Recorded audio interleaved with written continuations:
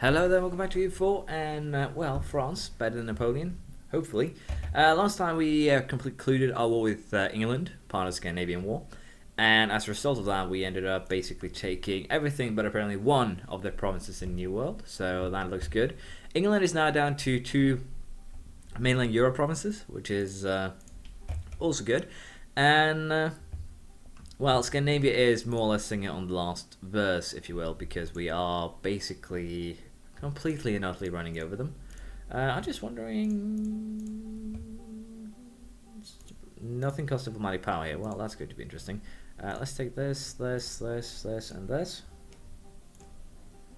Is that all we have claims to? Yes, that is. So we'll be taking those promises. And uh, as can see, people are getting pissy with me, but I think that even though it says that some people will be considering joining a coalition against me, I'm very much certain that will not be the case. I don't really see it happening.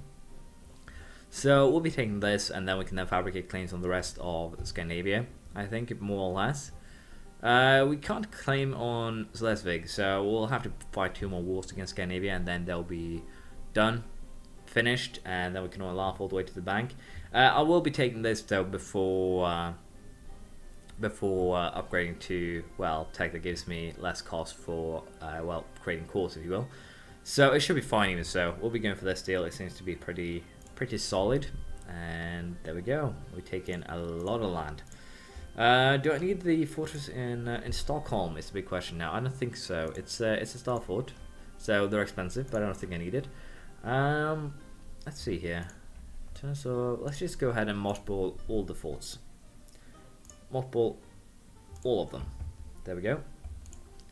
Do I want to keep this one up for the time being? I don't think I need to. That's the bad, that's the funny part about this. But what we are going to do is activate the force in uh, the Russian border because we're going to fight Russia now. And I'm going to be moving the troops in Scandinavia, of course, over to Russia with uh, with that. But yeah, this should make it a lot easier to deal with, uh, well, some of the Russians. And these troops here are going to move over. I don't really need as many forts as uh, I have here. I'll keep the one in Skåne because it's basically going to be potentially useful. Uh, we'll keep these guys here as basically a uh, peacekeeping force. The rest one, the rest of them are going to be moved to, to Russia here. And the goal is basically to set up uh, our forces here for a quick strike on the Russian force that is currently hiding in, uh, well, Perm, the uh, the Russian-Ukrainian forces, which is, well, kind of bad. Uh, but anyways, we're also going to be preparing for a war here against uh, Austria. Austria's allies are currently Aachen, Nassau, Naples, and Flanders. So as you can imagine here, they don't really have any powerful allies. They have a lot of weak ones.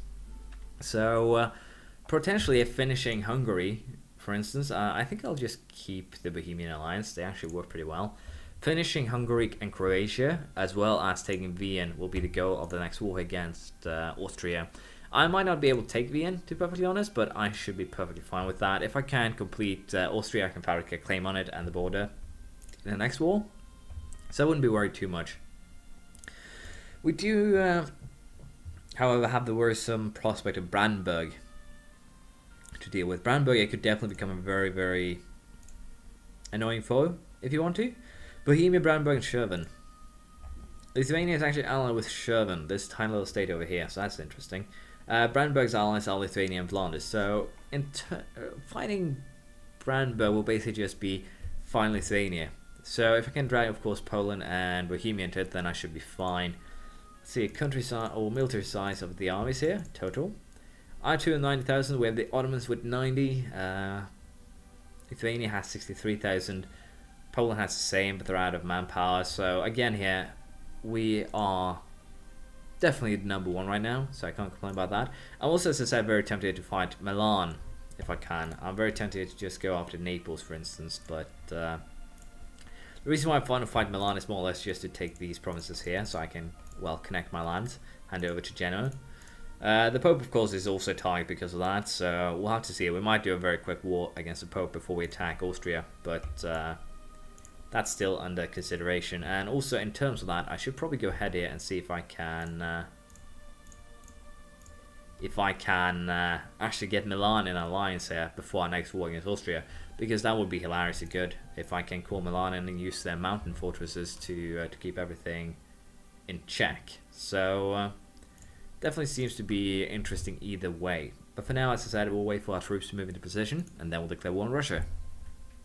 Well, I didn't consider the fact that the Danes have the plus 50% coring costs to uh, their lands, which means I'm not only overextended, but I'm also in dire trouble because I didn't consider the repercussions of actually taking this much land at once.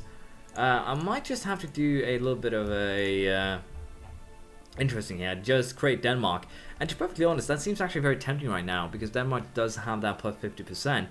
And I can just use Denmark here to conquer the rest of, uh, of uh, well, Scandinavia. So I think we are going to actually create Denmark here. I'm going to be one nation above the limit, or one nation above the limit. But in terms of diplomatic power, that should be perfectly fine. I'll be able to uh, to live with that. So we'll create Denmark here just so that I won't end up creating a incredibly big and terrifying problem for myself in terms of both coring costs, but secondly a potential monster here that will be uh, the uh, overextension that I did not consider when I went for uh, making peace with uh, with Scandinavia. But uh, let's just make it perfectly clear: Scandinavia's cores are now all Danish provinces, so I can just hand everything over to Denmark in the well future wars. So again, it's not really any concern. I could potentially support rebels here, unfortunately it's just peasants. So I'm very tempted to see if I can put myself into a position where I could, for instance, uh, well, make some other interesting moves. But for now, as I said, we'll wait until Russia's ready, and then we'll declare war on Russia. We have our troops ready now. Sadly, uh, the game jumped. Sorry. I have my troops here now ready in uh, the Russian province, and we're about to actually invade here. They don't have any allies, so uh, this should go very quickly, very painless. So we're just going to go for taking Perm, because there's no castles in the area. It's far out of the way. It should be easy pickings, in theory. So let's just go ahead and declare war, take Perm.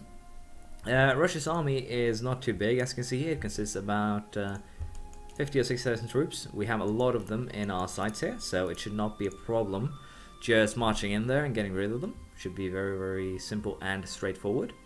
Uh, currently, I'm working on... Oh, damn, that went quick. Uh, yes, as I said, simple and straightforward. Although I did not expect it to be that simple and straightforward. Anyways, Russia has a lot of fortresses, as you can see. But uh, we did actually destroy both of their armies. Both of their armies have already been destroyed so far, and that leaves them with just 8,000 men left. So it's basically now just sieging fortresses, uh, making sure that they don't get an opportunity to, to counter attack, and basically just allow the war to, to run its own course here. Um, Gibraltar and Salento demanding representation. Um, so they want us to switch to a constitutional monarchy? I guess? I don't know. We'll have to deal with that later. Uh, we could move to Court of Sales as soon as we get the econ economic ideas if we want to. Don't really need to. Uh, let's see, anything else? Go to India. Could be interesting. I think we'll make vague provinces, make vague promises of the reform, and we'll see if uh, anything, well, if they get pissed about that. I'll still be working on actually making Milan my ally before the Austrian War. It could definitely be helpful to have him on my side.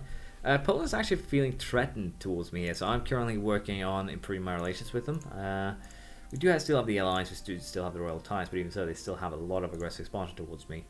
So we'll have to see how we want to deal with that. Uh, we are going to most likely here end up with uh, a double whammy, if you will. And what I mean with that is that we are most likely just going to go ahead and declare war on Austria, take as much as we can from Austria, just siege everything, and then just straight out declare war on Brandenburg right afterwards. And basically, what the goal here will be is uh, uh, basically what the goal here will be is to take Berlin, or just even get a uh, even just get a well beachhead, if you will, in Greifswald potentially, just like in Fabrica, claim on Berlin. But I think with the uh, development just being 18, I'll just go for Greifswald and then Berlin and potentially something else to just make the map look a little bit prettier. But that will basically make me get Berlin very quickly. I can then get Vienna very quickly. I can then get, as you know, Moscow very quickly. Getting the achievement done. But as I said, I think I want to play this game a little bit longer than I'm being used to. Potentially just finish a game for once. And as I said, the reason for that is very, very simple. I need to uh, get used to playing the late game.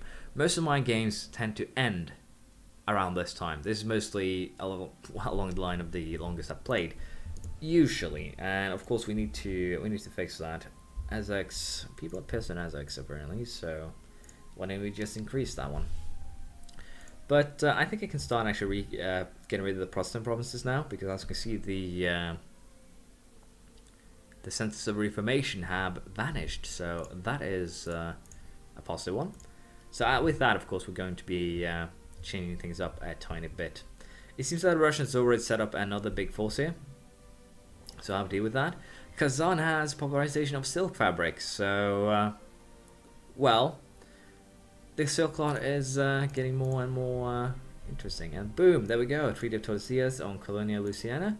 And French Louisiana has been uh, created now, which is uh, good. There's a lot of uh, a lot of French here, but uh, as I said, I'll be focusing on just getting the coast done, and then we'll leave everything in the hands of well, the colonies themselves. So I'll be moving these guys to actually keep that one under control, and then I think we'll just finish the islands. We'll well, bridge the gaps here in South America and just work from there. I find it hilarious that still Holland is just this tiny little island. They haven't actually done anything on that island, not colonized anything. They're just sitting there. So uh, it's it's interesting for sure. And I'm very tempted to actually declare war on Utrecht and get just get those Holland cores back just to see what would happen. Just out of curiosity, if you will. So what we're going to do now is just keep an eye on the Russian war. We're going to be sieging the uh, fortresses here and uh, we'll see how things go. Of course, again, imperialism and nationalism on uh, my brethren, because uh, what's what's better than what's better than that? Uh, but yeah, we'll just uh, continue fighting here, and I'm pretty sure we should be able to get things done. I should probably build a fortress here in in the area, since they are actually occupying some territory, but it should be fine. If we end up in a battle, I'll show you. Other than that, I'll just sit back and relax here, and we'll see what happens. We have a Saint Proclaim, which gives us a uh, free stability point. We're now up at plus 3, which is the maximum, which is very, very good. Um, I'm a little bit unsure what to do. We still have the English separatists, we have the Swedish uh, separatists as well, but the course are almost done, which means that uh, the problem should solve itself very, very soon. Pskov has been sieged, which allows us to move our troops back here. And I'm actually just going to move these troops too, and we're going to uh, well, have a mash here on uh, the Russian army, hopefully destroying it. Uh, but basically what this means is that I can now siege some, uh, some land. So it should be interesting to see just how that works. They will arrive in the 8th, so let's wait just 6 more days. That was 4, yep.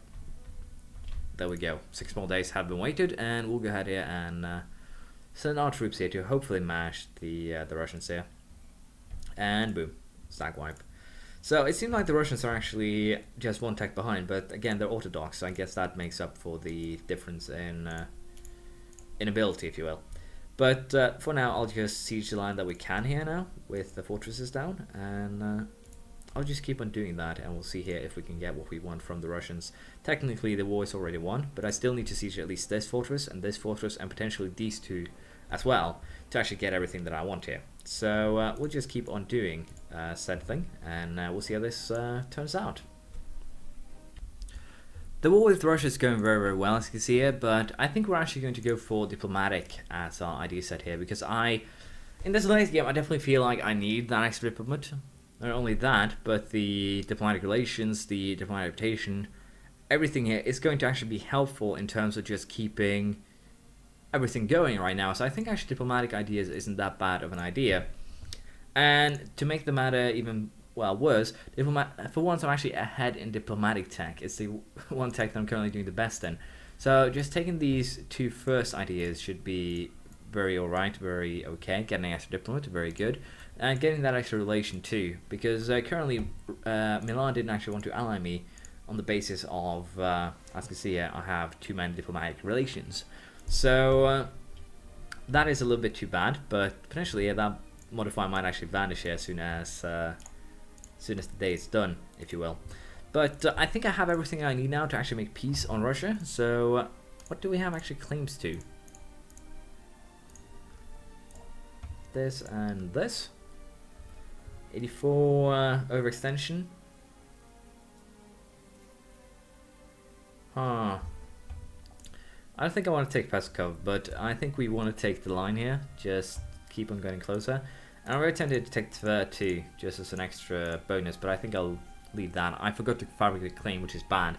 But uh, again, this should make it a little bit easier to deal with Russia in the future, and I think this should be a fairly alright deal in terms of, uh, war score. I could potentially also force to release some some nations, but I think we'll just stick with this. It should uh, it should work. So let's just go ahead here and make peace.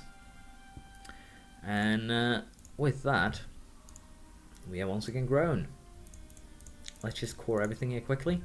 And I think we are, as I said, not going to take any more uh, land for a little while, and that's because I need uh, basically money here to tech up again. And with this, I can get rid of this castle right here. And we can also get rid of this castle right here, because there is one in Yaroslav, there is one over here. I should potentially build one here, I think, or next to, because there's currently a bug that if you have two basically connecting like this, you wouldn't be able as a player to walk through this, but the AI can. So basically you want basically have two spaces between each fort. So they all have, uh, basically the full of control is everything it touches. But if two fortresses of control overlaps, the AI can just ignore that and walk straight through, which is very annoying. So that's basically why I would wish this fort to be here, because then you basically have the correct amount of spaces. So I think I might have to move this one, but uh, we'll figure that out as we go. For now, however, we're going to uh, go ahead here and uh, mothball all forts, because there's no reason to have them up anymore. And we're going to be moving these two troops here back to uh, Scandinavia to prepare for a potential heavy war against Brandenburg, but also, of course, the Pope. The Pope has uh, probably reached the end of his reign, I dare say. And uh, what I mean by that is very, very simple. I'm going to uh, declare war on the Pope next time, I think. We're going to try and take uh, as many provinces as possible. Most likely just Siena, Umbria, and uh, Urbino, as well as Istria and Dalmatia. And then we're going to declare war on Austria here with the goal of uh, basically, well, finishing Croatia so I can annex them. Trying to finish uh, Austria, sorry, Hungary, so I can actually just save some admin points not having to core anything myself. But we'll see what we do next time. Thank you for watching. Please leave a comment, praise, criticism, anything you feel like, and I'll see you next time. Bye.